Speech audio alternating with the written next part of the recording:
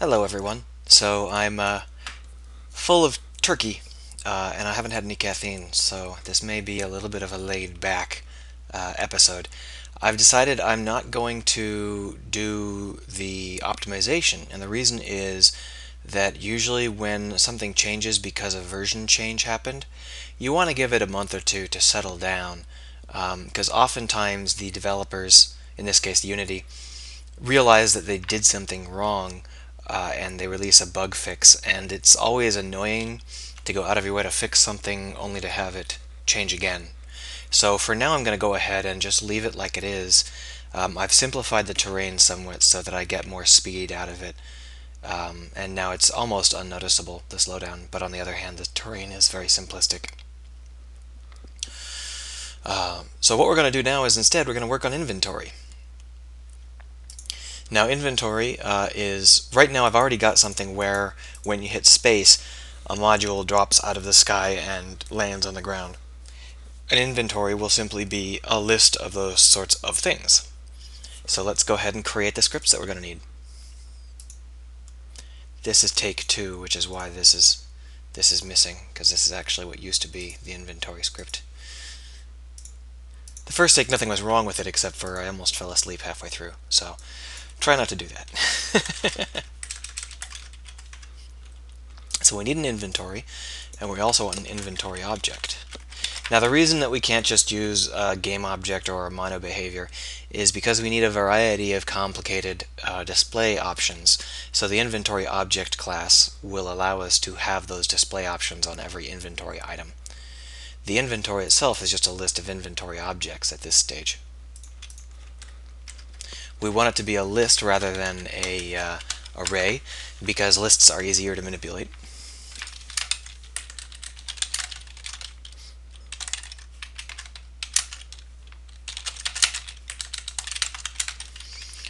We also need to have it so that we know which inventory is the active inventory and this actually can get quite complicated in my game because there will be multiple planets and each one of them would have different stashes and different inventory items.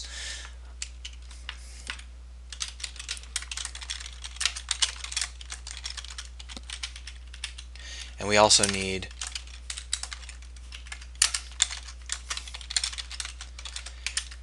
that's the actual item that we have selected at the moment. So active inventory equals this, and now if selected item equals null, then selected item equals inventory object, uh, sorry, items zero. Except what if we don't have any items in our inventory? We don't want to select the zeroth item out of a list of nothing, so we have to just double check and make sure that we have some items. There we go. So our next step is to put that on something, and obviously it should go in the same place everything else is. Yeah. The main camera. So now you can see that we have an inventory script down here with items. It's empty, select item, also empty. We don't have anything of type inventory object to add to it. Now these are the, shrink that down, these are the two items that I have that can be deployed. I've got this big one, and I've got this little one. So the question is, I need to add those to the inventory, but there is no uh, inventory item uh, class on them. So uh, in order to put the inventory item class, I could add it as a class here, but I think a better idea is to make droppable module inherit from it. No, come on.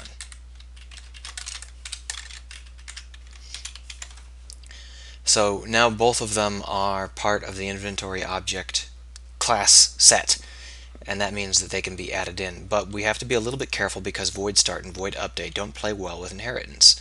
Instead, they need to be public override void start and public override void update. Of course, that only applies if we make inventory object public virtual void start and public virtual void because that way the system knows that inventory object has the start this start and this update function that are probably going to get overridden. Hold on, my mouse is clicking. I'm sorry if you're hearing weird noises through my mic. I think that my mic is rattling. Well, like I can't tell for sure. Um, anyhow, let's go ahead and add those two items to our inventory list. So here you can click on this lock button, and that means that it won't go away. It'll stay right here. So we can go over into our space inventory and grab these two items. And normally they would have popped up over here in the inspector, but we've locked it. And then we can just drag them on, like blunk.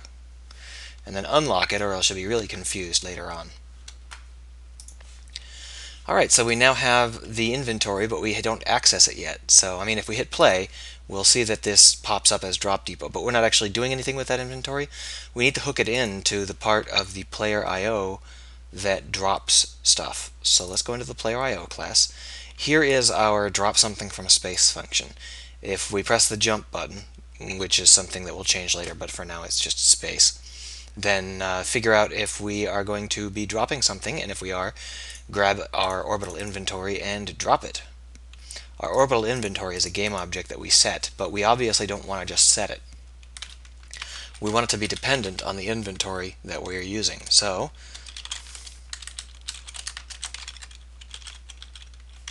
return inventory.active inventory dot select sorry uh, selected. Why is it not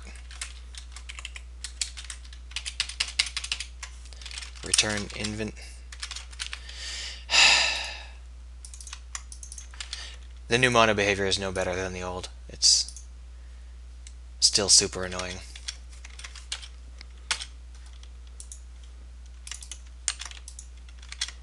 Fuck you, MonoDevelop. Now we have to return .gameObject because this is actually a game object, not an inventory object. So we actually, there is a special case here that we're not dealing with, and that is if there is no inventory item selected, then this will actually error out because we're trying to get the game object of a null. So we're going to say if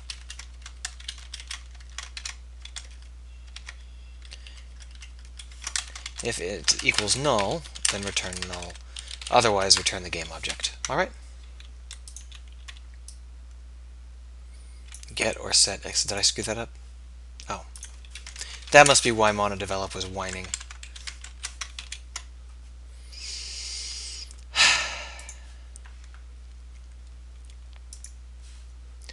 Alright, so if we look at our, where is our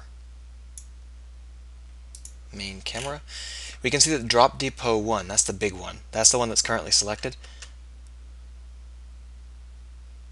Wham! And now we're going to go ahead and uh, change that.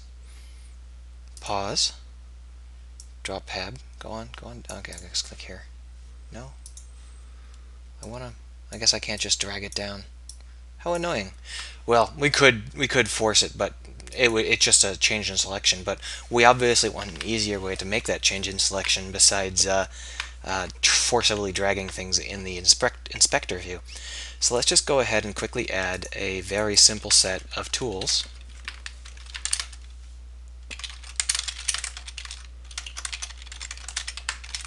So that function will simply select the next inventory item. And this one will select the previous inventory item. There's not really any reason to abstract them out. We could if we needed to, um, but no, there's no benefit to it. This is super simple stuff. Inventory inv equals active inventory. Uh, just because I don't want to type active inventory over and over and over. If inv equals null, then return if inv dot items dot count equals zero, return. If inv dot selected item equals null, then inv dot selected item equals inv dot inventory uh, sorry, items zero. There we go. Uh, and then otherwise, and now here's where the actual logic goes. Basically, we've covered all the edge cases, and this is where we actually go ahead and select the next item in our inventory.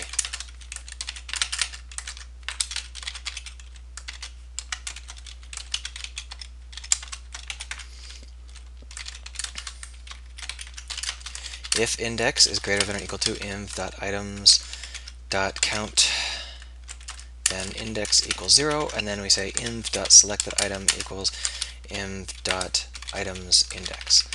And there we go. We just grabbed the index of the current item, we added one to it, and we wrapped it if necessary.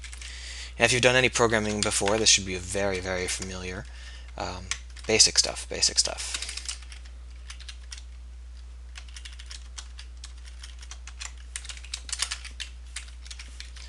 And of course this one wraps the other direction. Simple enough. Now we have to hook the select next and select prev up so that the player can use them. Let's go ahead and make it so that our mouse cursor does it for the moment. A scroll wheel. Not our mouse cursor, our scroll wheel. As I said, lots of turkey. Um, uh, input get axis mouse scroll wheel. Unlike most uh, axes, this is actually an event axis. Um, the uh, something like if you hit up, it will make the vertical axis go to one and stay there for as long as you hold up. But a mouse wheel is an individual event, so it doesn't stay anywhere. So we can use this in lieu of a get button down or whatever.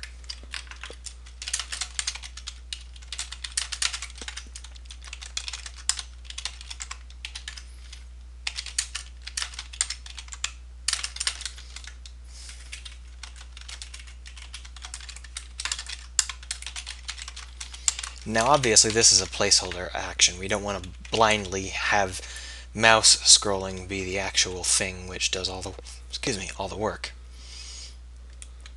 So I'm going to hit space and bring down a drop depot. Blunk. Now look in the lower right hand corner down here and I'm going to press mouse press the mouse wheel. Switch it over to the drop pad. Drop some drop pads. Mouse wheel. Drop some drop depots. So that's the functional part of the inventory. The next thing we need to do is we need to make it so that uh, we can uh, pop up a window for selecting our inventory. Um, and that's going to be next episode. But this is plenty for this episode.